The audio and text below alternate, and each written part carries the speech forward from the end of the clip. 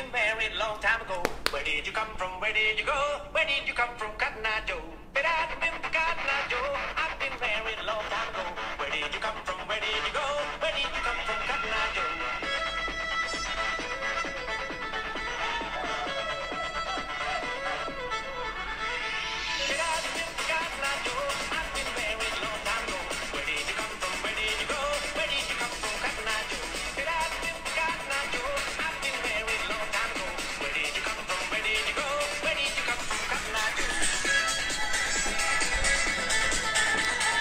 嗯，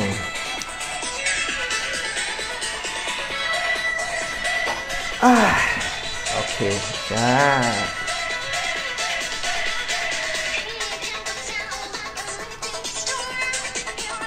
Hello，大家好，大家好，欢迎大家加入哦。那么我们先暂时给我准备一下哦，那么呢，也给我们的股友先进来先啊。那么多一下子呢，我们就正式开始哦。让我先检查一下声音是否是呃清楚，然后呢，还有啊，对了，忘了把这一个视频 share 在我们 Telegram 哦。查一下声音是否是呃清楚，然后呢还有啊对了 OK，可以可以，声音清楚，声音清楚。OK，那我先把这个先 share 在我们 Telegram，那么大家先等我一下啦，等我一下啊、OK，我看一下出去了吗？share 了，我看能不能进去。OK，应该是可以了吧那大家先等我一下，？OK，声音清楚吗？啊等我一下啊。OK，好，那么我们再多一个两分钟，我们就开始哈。那么大家呢，先帮我把这个视频先分享出去给更多的人，让更多人都可以进来，在今晚的财经趋势谈，站在趋势的前方，Tony Lim。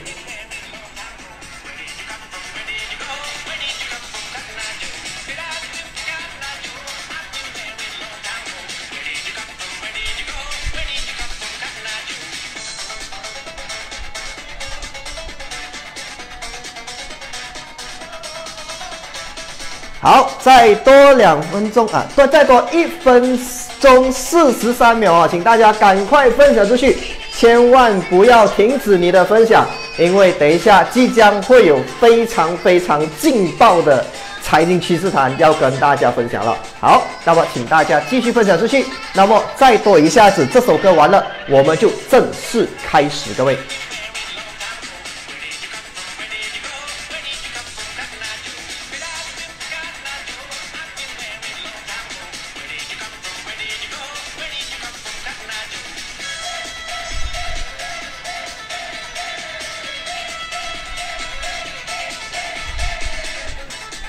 要赶快赶快哦，时间宝贵，我们会准时开始哦。多一下子只给大家五分钟的时间，因为这个财经趋势三话不多说的，很直截了当。OK，赶快赶快，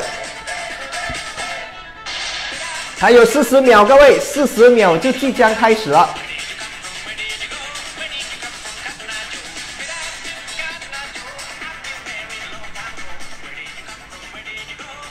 好，大家赶快分享出去，还有四十秒，我们即将开始我们的财经趋势谈的第八集，各位。OK，差不多啦，我们来倒数一下哦。OK，十、九、八、七、六、五、四、三、二、一，好，欢迎大家加入我们的财经趋势谈。各位，我有看到很多股友都已经进来了。首先，先祝大家晚上好。那么，首先呢，来欢迎大家进来我们的财经趋势谈。那么，财经趋势谈永远走在趋势的前方哈、那么来到这里呢，现在已经是财经趋势谈的第八集了。我叫 Tony Lim，非常感谢大家抽空在这个晚上来到财经趋势谈。那么大家都知道，财经趋势谈话不多说，直接讲重点。我托尼林没有预测未来的能力，但是我绝对有展望将来的实力。好，那么让我们一起来展望接下来的趋势，到底会是在股票呢，还是在指数，还是在商品，或者我们要知道接下来我们的机会会是在马来西亚，还是在新加坡，还是在泰国，还是在美国？或者是在香港，或者是在英国呢？那让我们一起把这一个答案给揭晓出来。我叫 Tony Lim，我们今天晚上还没开始之前，让我先来个免责声明。那么等一下呢，我会跟大家分享的所有的财经知识，都是我个人的经验分享，并非任何买卖建议。如果有提到任何的股票、房地产、期货、指数、汇率等等的话，那都是来给大家做学术用途跟参考。如果你要买卖任何股票或者是期货等等金融产品，please seek for professional advice or financial advisor。好，话不多说，我们正式开始。各位大家晚上好。好，那么首先呢，今天要跟大家分享的跟 update 的一个资讯呢，就是我们要知道美国最近的状况到底会是怎么样。因为美国的状况跟欧盟区的状况呢，它会影响全世界的经济的走势的。所以，首先先来跟大家聊一聊美国经济呢，在之前 COVID 就是新冠肺炎过后呢，开始有 recover，就是我们所谓的复苏的一个现象。但是呢，我们比较跟过去的话，那么现在呢的这一个走势，我们所谓的增长呢，应该没有错的话呢，在二零二幺年国内生产总值 GDP。美国应该预测会增长六点五八千，根据我小弟的一个分析哈。那么来到这里呢，当我们知道这样子的一个情况过后，我们可以看得到，现在呢，其实美国还是保持在一个非常鸽派的情况。简单的来说，利率保持非常的低，还有它继续的购买这一个我们所谓的国债。那么这个举动是否是正确？未来是否会带领全世界的股市继续走涨？马来西亚的 KLCI 是否能够突破一千六百点以上，或者会跌破一千六百点呢？那么等一下后面我会给大家揭晓答案。那么首先呢？以根据我的分析跟这一个 analysis，让我看到的就是在二零二一年，就是我们进入这个夏季的时候呢，我们预测呢，这一个所谓我们展望到的这个美国有可能的通货膨胀会突然间飙升哦。我先说，突然间飙升去到二点五八先，过后再修复回来。那么我们知道说。美国基本上在过去都是希望他们的这个通货膨胀能够去到呢两八线的，这个都是美国联邦储备跟这一些美国政府的一些 target 来的。好，那么我们知道了过后呢，现在我们来看了。那么其实最近 Janet Yellen，我们知道 Janet Yellen 就是 Jerome Powell，就是央行行长在美国的他的师傅嘛，对不对？那么最近呢，啊，成为了 Treasury Secretary 啊，好像财政部长这样子过后呢，就开始说了，那么很多的这些计划呢，这些钱啊，都拨出去呢，来帮助美国的经济，希望能够呃，就是走出这个所谓的 COVID 十九的状况。但是呢，有一个状况大家要特别注意的是什么？最近的美国开始在做一个动作，就是走啊，就是上啊，increase 他们所谓的 tax high，我们讲 tax rate high，就是提高了税收，提高到多少呢？二十八八先，就是二十八 two eight 哈。那么我有讲到重点的那一个词呢，或者是字眼，或者多少八仙，大家可以帮我的话，就把它打在 comment 那里。这样子的话，我们的股友就更加容易可以看得到了。好，它会去到二十八仙左右，然后它会把所有这些我们所谓的很多的公司之前有给很多的 incentive 跟协助，那么有可能接下来会一一的把它给 remove 出来。什么叫 remove？把它给抽出来了。那么，如果这个举动真的是去做的话呢？那么我们相信呢，美国联邦储备即将会收到七百个 billion 的这一个 revenue，就是税收。那么这一笔钱呢，或者省下来的钱呢，我们相信 Joe 啊，这个呃 Joe Biden 他本身是说他会把这笔钱花在基础建设、教育还有。再生能源等等的，那么是否接下来会这样子做？大家就继续的在观望。好，来到这里呢，我们知道这一笔钱抽出来，我们说政府它除了提高这一些所谓的啊他们的啊税收之外呢，还有就是他把刚才我们所谓的 incentive pull up，对不对？这 incentive pull up 过后呢，我要跟大家讲的就是，如果谁有投资在美国，请注意了。如果你有投资在美国，请注意了，我讲两次了哈，再讲多一次，因为很重要。如果谁有投资在美国，请注意了，因为在美国有十九八先公开交易的公司，有一些呢，我们把它称为是僵尸公司 （Zombie Company）。什么叫僵尸公司？这些公司基本上都是我们所谓的融资，然后呢拿更多的钱，然后希望呢能够透过拿这些钱呢去。啊去 run 哈、去做啊去做他的生意，但是他们没有真正的收入的，在他们自己的这个我们所谓嗯。怎么说？他们的生意上是没有真正的收入啊，都是靠这一些 investor 投资者给他们钱，然后他们才能够继续的经营下去。那么这些公司，如果他们的债务是非常高的话，大家有投到的，请大家要特别的谨慎跟注意了，因为接下来的四月到六月是比较重要的时间段，有可能这一些公司只是我个人的分析跟。啊，展望，我相信有可能他们没办法偿还一些债务，而导致利息越来越高啊，然后就没办法还那个利息，那利息就会越贴越高，然后到最后呢，公司有可能很难生存下去，或者会宣布破产哦。好，那么来到这里呢。另外要跟大家讲解的就是说，呃，大家要特别注意的就是，呃，现在印度的情况，尤其是在我们所谓的这个呃新冠肺炎呢，就是所谓的 COVID-19 new infection 呢，一直在走高啊。所以，呃，这个呢也是我们非常关注跟呃非常担心的一个呃事件，因为我们知道，除了中国、印度的人口其实是非常多的，所以如果说我们看到，哎呦，等一下哈，有一些人。啊，就是乱乱又进来啊打广告了，那么我要把它先给踢出去啊。这些呢都是我们所谓的大家要注意哈，现在有很多这一些呃假的账户哈。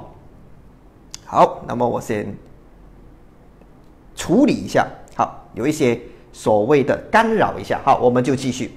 那么，请大家注意，如果你有看到一些个别这些假账户，或者是乱乱发这些所谓的 link，跟我 WCD 跟 Tony 完全没关系的，所以请大家避开这一些 comment。那么我们私底下底下公司也会处理好。那么来到这里呢，顺便跟大家说，美国基本上的这一些案例，我们所谓的 coronavirus infection，其实呢。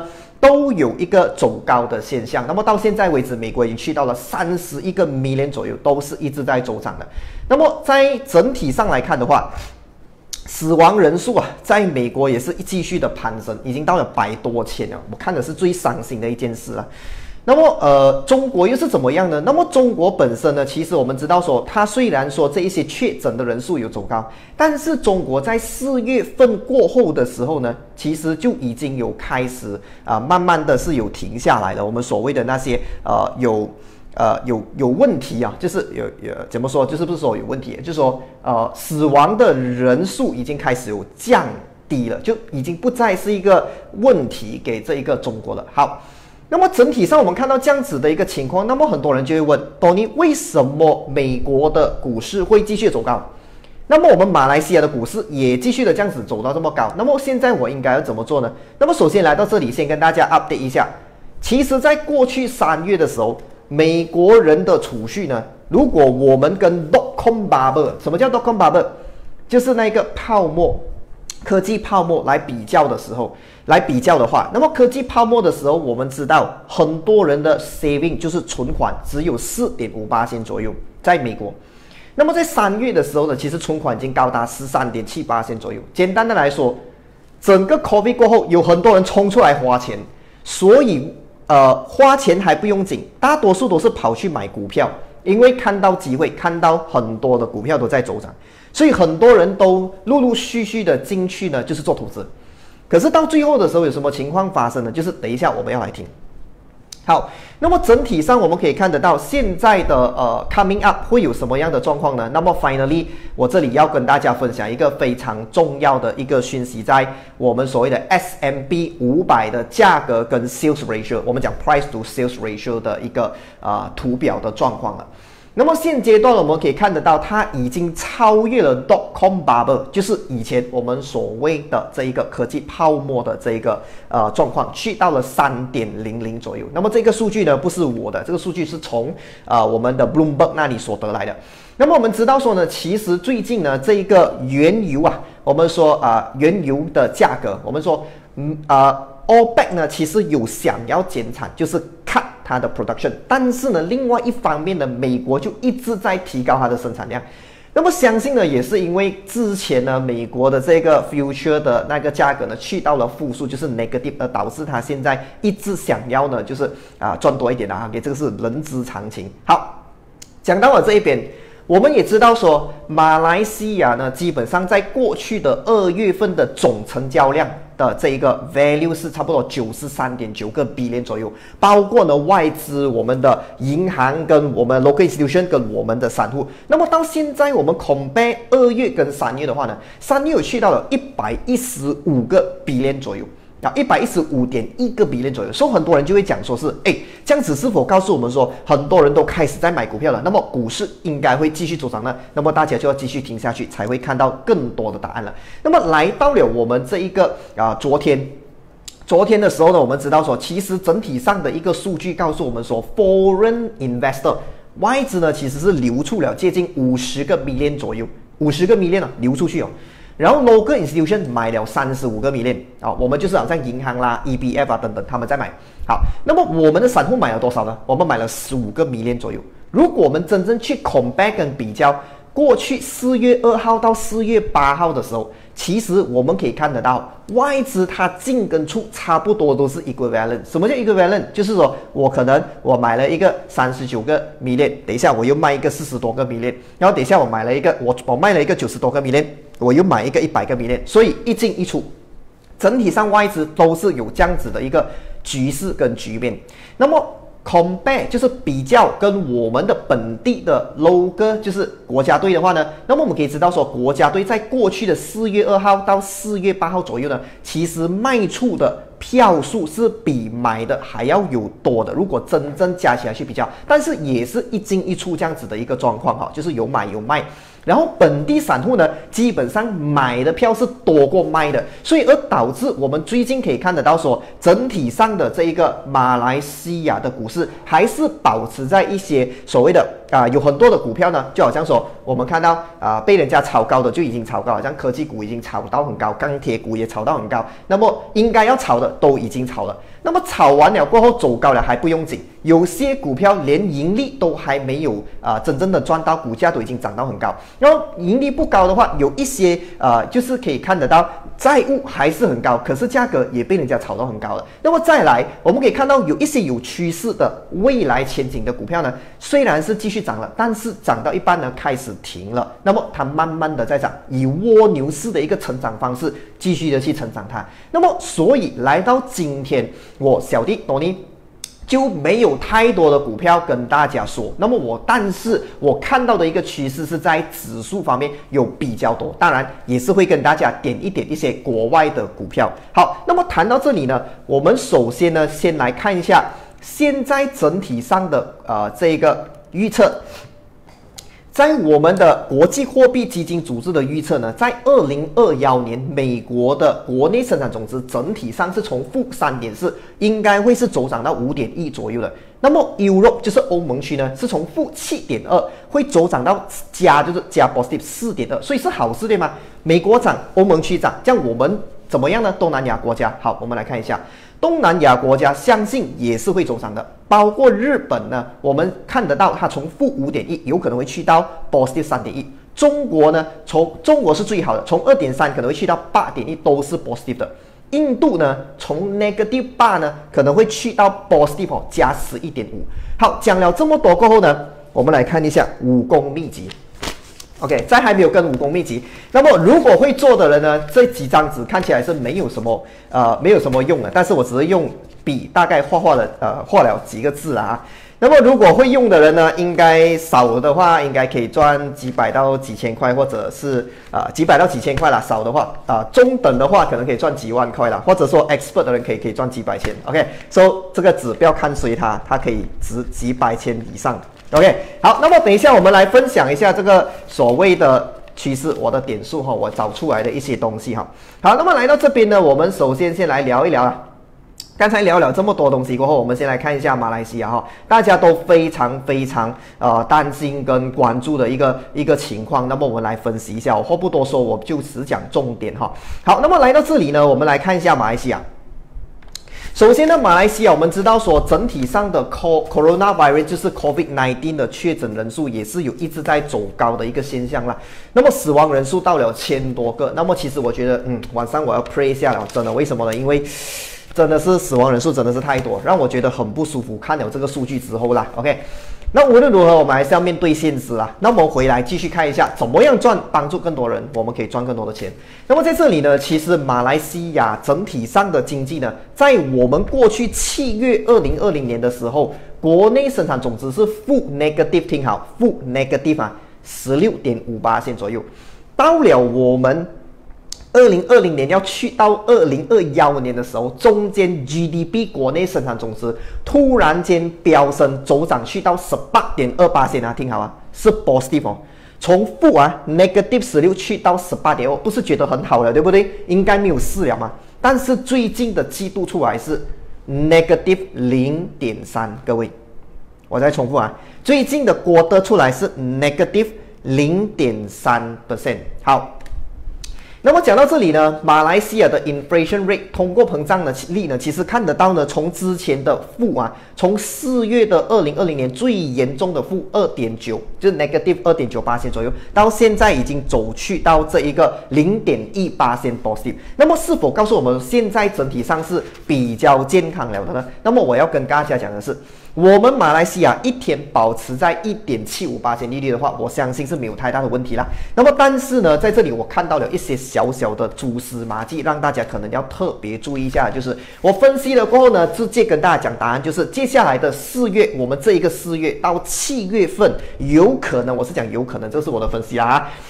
我们的股市有走下滑的现象啊，就是有走下滑的现象。因为为什么呢？我们的支出也看起来，不管是我们 consumer 政府方面，或者是啊外资呢，也是开始有慢慢的缩水的一个现象的。所以呢，我相信说，根据我的这样子的一个分析呢，到接下来这个四月到七月左右，有可能我们会面对的一个情况就是说，我们的马股。呃，是否会就是缅甸在一千六百点以上？来，武功秘籍打开，我们来看一看。好，根据我的分析呢，在这边马来西亚呢，upcoming three months 三个月里面呢，它即将会保，如果好的话呢，就所谓的很好很好，我们会保持在一千六百点 KLCI 以上。但是如果很呃不是很好的话，有可能它会走向。走跌现象去到一千五百八十点，这个是我看到的。所以在这里呢，要跟大家大概分享一下为什么会是这样子。除了我们的 expenses，包括不管是政府 consumer 我们跟外资之外呢，我们可以看得到，在过去的失业率，我们讲 unemployment 呢，在过去二零幺二年的时候，我们是保持在三点多个 percent 左右的。可是到了我们现在的情况，corona co 啊 covid nineteen 过后，大家知道去到哪里吗？我直接跟大家讲答案。去到最高四月二零二零年是五点三，但是现在比较好一点，可是还是保持在四点八八线。简单的来说，还是有一些人呢是找不到工作或者是失业的。所以如果这种情况继续下去的话呢，我们看得到是再加上现在。整体上 CMCO，我们又没有办法跨州，那么有很多的这些产品，我们知道现在大家可以去购买一些家私或者购买一些呃所谓的呃 material 哦，就是东啊一些建筑的 material 是等等什么东西都好，大家会看得到的就是有一种状况就是哦，有可能有存货的就买得到，没存货的可能就要再等，为什么呢？因为我们还没有正式的所谓。Full and full force 就是开放我们的经济。那么为什么呢？因为我们的确诊案例还是没有办法得到一个比较啊，全世界我们说得到一个很好的控制的状况。虽然我们疫苗已经接种了，但是还有一些国家呢，还是需要努力进步去解决他们现在的这个新冠肺炎的一个问题。所以呢，整体上来看的话，我相信马来西亚有谁手头上可能，我是讲可能啊，有收这二三线股。比方说是一块钱以下啊，那么或者是有购买了一些股票是之前在底底部买的，然后有走涨上去了，感觉到说已经涨很多了，然后这些股票不是蓝筹股，我再重复，这些股票不是蓝筹股，是二三线股或者一块钱以下的话，大家特别就要注意了，有可能四月到七月的时候会遭受到一种抛售的情况出现，所以如果有这样的情况，包括整个基本面我的分析的话，那么。如果是展望正确，大家就必须要记得这一句话了：会买股票的是老师，会卖股票的叫师傅哈。那么今天在这里呢，大家听到我的分析，应该知道我在讲的是买或者卖，但是我不可以给你任何的买卖建议，都是我个人经验的分享。那么我的分享跟展望告诉我说，有可能我需要在我的 portfolio 里面做出一些调整啊，在我整体上马来西亚的一些二三线股的状况了。好，那么讲到这里呢，虽然说我啊，但是呢，我们看到一个比较好的状况在马来西亚，就是我们的这一个。贷款哦，就是不管是 commercial 或者 industrial，其实还是有的，只是比较少一点，没有像之前这么理想，但是还是有的。所以这句话告诉我们什么呢？就是说，如果很好的话，我会保持在一千六百点以上的这个水平徘徊。那么为什么我会说是不是蓝筹股呢？因为蓝筹股是代表指数的。如果说今天指数都已经泄到这么严重，蓝筹股都伤害很大了哦，更加不用讲是二三线股，它的伤害是双倍以上的。所以讲到这里。呢，我相信只啊有一些蓝筹股，你看我之前有跟大家提过，在财经趋势谈的是，我觉得看好的可能就比较啊安全一点，就是未来趋势会回来的时候，包括一些呃我们所谓的银行领域，或者是包括一些呃旅游领域啊 hospitality 或者是一些垄断式的企业的话，就会比较安全。但是如果大家要冒很大的险的话，可能在这个四月到七月就要非常的谨慎一点了。好，那么讲到这里呢，我就大概分析完整体上。马来西亚的一个状况。好，那么啊，新加坡呢，我就大概跟大家聊一聊新加坡。那么等一下我来给大家一些呃 direction，我们要怎么做才可以赚到钱哈？好，我们先讲完新加坡。那么新加坡整体上来看的话是健康的，OK，整体上来看是健康的。但是呢，呃，因为有可能会有 sell in May and go away 的状况在五月份。那么新加坡整体上的呃一块钱以下或者我们所谓交易的股票，就好像跟马来西亚一样 short term trading 的呢，也是要特别注意在。在四月到六月的二零二幺年，可能会有招收抛售的一个情况啦。好，那么分析完了这个新加坡之后，现在直接给大家一个比较好的，我展望出来有机会能够赚几百块到几千块或者几万块的一个呃方向了。那么根据我的分析呢，我觉得接下来的一个机会会是在指数方面。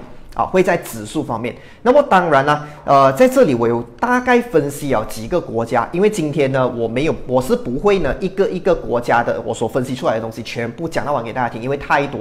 我相信如果要讲到完，我五个小时都不够讲，所以呢，我直接给大家一个答案。那么根据我的分析，我们相信美国在短期内，就是所谓的 in the short to the midterm 到六月哦，六月到啊六月左右啊，应该是到六月左右哈。一二四五六啊，对，四月到六月左右呢，道琼指数，请大家帮我在 comment 打一下哦，道琼指数有望去到三十四千点，就是三万四千，对吗？啊，对，三万四千就是三十四千点，道琼指数。第二，S M B 五百，S M B 五百有机会去到四千三百点哦。再来说一下，道琼指数啊，没有 S M B 五百会有机会去到四千三百点，好。请大家打出来。那么纳斯达呢？有机会去到十四千点。我再重复，纳斯达有机会去到十四千点。OK，这个是到六月之间哦。那么但是呢，在美国方面，大家要特别注意的就是有可能会有一个恶性通货膨胀的状况。那么它应该没有错的话，大家要比较谨慎的是在二零二幺年的六月。如果没有发生的话，应该就没有太大问题。那么大家就要特别注意的，就是在二零二零年的六月左右这个阶段了。OK，那么这是我对美国的一个分析，它是有机会会上。OK，那么 How about 中国？中国呢？中中国就比较可怜，中国的中期呢是会跌啊，是会跌。那么谁有投资中国的股票的话，那么就要特别呃谨慎或者注意一下，不管是香港股票或者是中国股票的股友们了。那么首先跟大家分享一下，近期内我们知道中国基本上整体上不管是生产方面或者是以整体的经济方面都是一级棒的。但是呢，我们知道香港跟中国的问题其实闹了过后到现在呢，其实。香港已经变成是被中国给控制了，这个是我们很明显可以知道，也可以看得到的。但是现阶段我要跟大家讲的东西就是，全世界都对中国呢采取一个制裁的状况，以现阶段就加上新疆的一个状况哈。那么我们可以看得到呢，现在美国、英国、加拿大、Australia 哦，或者是 New Zealand 等等，都已经开始呢，就是展开制裁的一个动作。那么整体上来看的话，中国指数 China A 五十应该没有错的话，它即将会走跌，在整体上的 bid 会去到哪里？十五千五百。这是我对它的看法，它会跌到十五千五百。如果它跌到十五千五百的话，那么它又继续跌下去，到跌破十四千五百，大家就要注意了，可能是一个警一个 signal 很 strong 的 signal。我刚才啊分析到了啦，就是有可能短期之内我就是应该会打包我中国的股票了。我会先，你明白什么叫打包吗？我打包走先，OK。所以大致上是这样子，我对中国的看法。那么马来西亚我还没有这样担心啊，说法我还可以在蓝筹股方面呢啊持一些股啊。那么因为有一些股票其实已经被人家炒很高，只是大家要特别注意的，千万不要成为到最后现在有一些个别股票我看到的就是最后一波的冲上去，然后到最后买到高价，成为被割韭菜了。所以大家特别注意。好，那么香港方面的话呢，我们可以看得到呢，香港指数就是 HK 五十呢，Hong Kong 啊，就是我们所谓的 Hang Seng 啊。也是一样是下跌的，那么它应该会去走到这个二十七千五百点，那么这个不是 mid，这个也不是 long term，short term 很快，它应该会去挑战二十七千五百点，这个是我对它现阶段的一个看法。那么 profit 点方面呢，盈利差不多是一千点左右。那么有些人听不懂一千点是意味着多少钱，那么其实是很多钱一下。那么呢，如果会指数的人都知道是啊。有有蛮多的，看你怎么玩了哈。OK，那么这里我只是给大家一个点数，让大家去看了。好，那么另外呢，Germany，我们所谓的德国，那么德国的指数呢，根据我的分析，长期哦，long term，就是我今天我要收两年到三年，我都不担心的话呢，那么我告诉大家，Germany 的这个指数是会走涨的，is going up，它会有机会走涨的，这个是我对。德国的一个国家的分析过后呢，我看到它整体上的基本面是非常健康。那么以现阶段，他们也开始有一个复苏的现象，再加上说 Euro Dollar 现在的情况也徘徊在一个比较合理的价位。那么欧盟区的利利息呢，其实也是非常的低。ECB Euro Central Bank 也开始采取了非常多的动作，包括 German 自己的政府也有开始呢行动了。所以我相信 German 接下来呢会继续的走涨。好，那么 investor from 呃，等我看一下。 好，那么在美国的投资者呢，其实是非常的乐观的。为什么呢？因为他们现在呢感觉到整体上美国是没有问题的，所以他们觉得，哎呀，美国应该会继续的走涨。但是我要跟大家讲的是，所有的鸽派行动呢，应该都是短暂的。那么我们美国做做涨的话呢，也是到六月到七月左右而已。如果大家有感觉到有一个大跌的状况的时候，先可以，如果是我的话，我会先离场，然后过后再回来从。底部再找更便宜的那一个点数，然后一次过把它全部赚回来，这个就是我的策略。好，那么马来西亚方面，我们可以看得到呢，现在大多数呢，我们都有关注在一些。5G 哈，那么我们知道有很多人就说我要投资在 5G 的公司，因为啊我们国家有就是播出一些款项在 5G 的这个领域方面。但是我要跟大家说的就是，大家可能要好好做好自己的功课，先分析好个别的基本面才做决定，因为这个毕竟是一个漫长的投资哈。那么 Recovering Stock 就是我们所谓复苏股呢，也涨到七七八八了，钢铁股也给人家炒到乱七八糟了，那么 Technology 也起到七七八八了，所以整体。上来看的话，所有的领域让我看到在马来西亚也涨得七七八八了。所以呢，到现在呢，大家可以看到这一期呢，我是没有任何的啊所谓马来西亚的股票跟大家说。那么只能够跟大家讲，就是大家要比较特别的谨慎一点点，尤其是在这一个呃二三线股，有可能会啊四月到六月就要特别注意一下。OK，好，那么这一边呢，我要再跟大家分享另外的一个国家，等一下哈，我要先拿我的数据出来。好，可以了。好，那么在这里呢，另外要跟大家分享的就是日本哦，日本。那么日本会是怎么样呢？我相信日本会继续的走跌。为什么呢？它会先下跌，等一下，mid term 中期会下跌。那么日本现在是二十九千六百四十点，所以有手头上有买到日本的股票的话，也要特别注意一下，因为在短期之内，日本整体上的股市呢，应该会先走跌。原因是为什么？我们知道说呢，啊、这一个日本从之前 COVID 十九到现在为止呢，已经从十五千七百一十五点的你给走涨到了二十九千六百四十四点，总共走升了八十九八仙，涨了整整八十九八仙，所以它就是意味着说。它接下来该，我去看了一些点数跟一些呃时间点，我相信它会先跌，现在会跌到哪里呢？跌到二十八千点，嗯，差不多是这样子，嗯，Yeah，correct。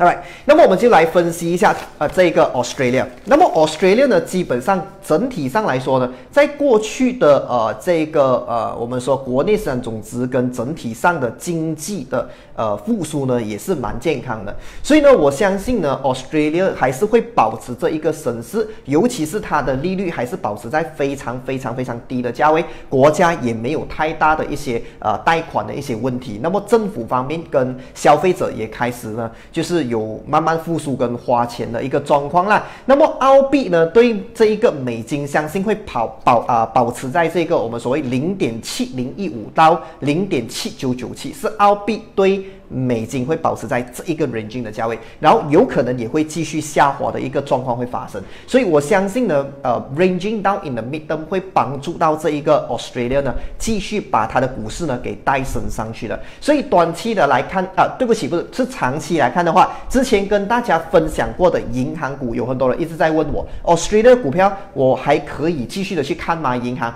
那么之前分析过的 Westpac，大家可以去回我们的 Telegram，在 Telegram 里面去找一下我们分析的时候价位是多少。那么到现在为止，已经去到二十五块钱左右。那么相信 Westpac，请大家打一下，根据我的分析会去到三十块。澳币、哦，现在是二十五块多，那么会去到三十块左右、哦，还是会继续上的。所以之前有赚到差不多整三十三四十个 percent 的人，恭喜你，那么还有机会，它还有上涨的空间，这个是我分析到的哈、那么再来呢，就是 ANZ，那么 ANZ 还有没有机会再上呢？有，但是空间不大了，它会去到三十一块钱，它现在的价位是二十八块八毛七左右，这个是根据我的整体上的分析。那么 National Australia Bank NAB 呢？OK。NAB 的价格是二十六块八左右，那么我相信它会去到三十块，还有一些空间可以增长。简单的来说，增长的空间也不是太多了，但是还有空间。所以接下来呢，我相信所有的机会应该会回到指数方面，所以我会把我大部分的一部分的资金呢，先攻去指数，然后另外的一部分。在马来西亚，如果真的要攻，我会攻蓝筹股。那么我只会找一些比较安全的、跟垄断式的公司，安全的投资。因为毕竟我们知道，只要它一下跌的时候是非常凶的，因为上的时候上的太快了，那么跌的时候也不会太慢。所以这个是整体上我从这一个整个宏观经济分析啊过所得到的一个结论。所以希望呢，今天我所分析到的个别的一些国家，包括我们所谓的美国、香港。